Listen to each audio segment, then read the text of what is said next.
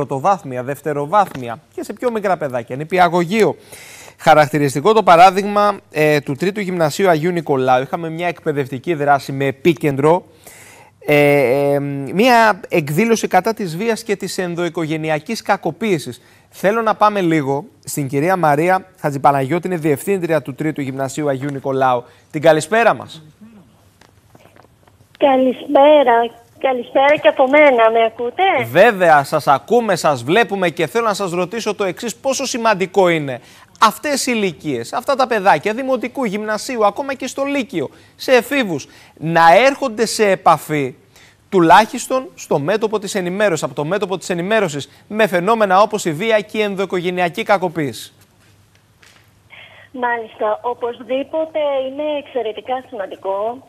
Όπως προαναφέρθηκε, η βία και μάλιστα η έμφυλη βία είναι ένα φαινόμενο εξαιρετικά διαδεδομένο στις μέρες μας και κανένα σχολείο δεν μπορεί να είναι αμέτωχο σε αυτό.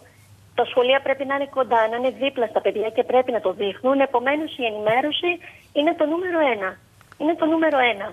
Ε, θεωρούμε, γι' αυτό ακριβώς ξεκινήσαμε αυτή τη σειρά δράσεων. Είναι μια σειρά από δράσεις, οι οποίες, στις οποίες μάλλον ήρθαμε σε επαφή και επικοινωνία με τους φορείς, ε, τόσο με ομάδες γυναικών, όπως για παράδειγμα η ομάδα γυναικών Ηρακλείου, που ανήκει στην Ένωση Γυναικών Ελλάδος, ε, όσο και με την αστυνομία, τη Διεύθυνση Αστυνομίας Λασιθίου, αλλά και με τη Διεύθυνση Δευτεροβάθμιας Εκπαίδευσης ε, και με ψυχολόγους και κοινωνικούς λειτουργούς, προκειμένου να μπορέσουμε να δώσουμε στα παιδιά μας ένα ε, πλαίσιο στο οποίο και να ενημερωθούν για το τι είναι αυτή η έμφυλη βία, και για να μπορούν να την αναγνωρίσουν στην καθημερινότητά τους και για να καταλάβουν ποια είναι τα δικαιώματά τους αλλά και για να μπορέσουν αυτά τα δικαιώματα να τα διαχειριστούν και να αντιμετωπίσουν τις συνέπειες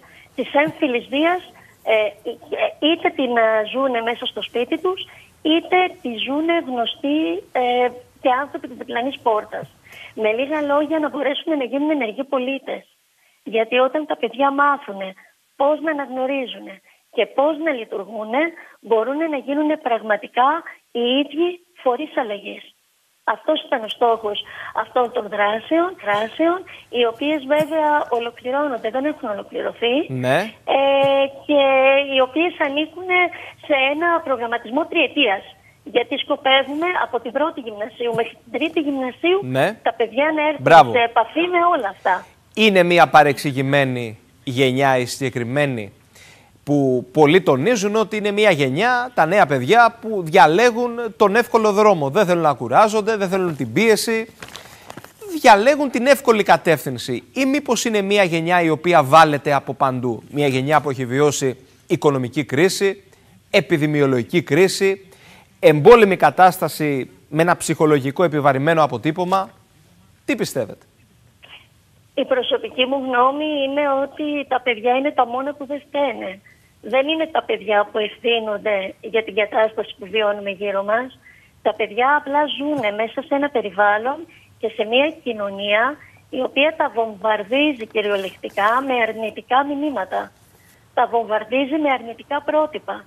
Καταπατάει τις αξίες, τα ιδανικά, την ενεργητικότητα, Επομένως τα γεμίζει με καταστάσεις βίες. Τόση ώρα μιλάμε για τη βία και την κακοποίηση την οποία τη βλέπουμε συνεχώς στα μέσα κοινωνικής δικτύωσης, ε, στην τηλεόραση, στις εφημερίδες.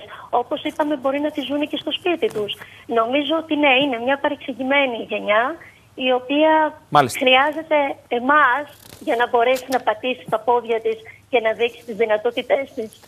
Να σας ευχαριστήσω θερμά με ορίζοντα τριετία στο πρόγραμμα. Έχουμε πολλά να πούμε ε, ακόμα. Να είστε καλά. Να είστε καλά. Σας ευχαριστώ και εγώ. Σας ευχαριστούμε. Καλό απόγευμα. Να είστε καλά.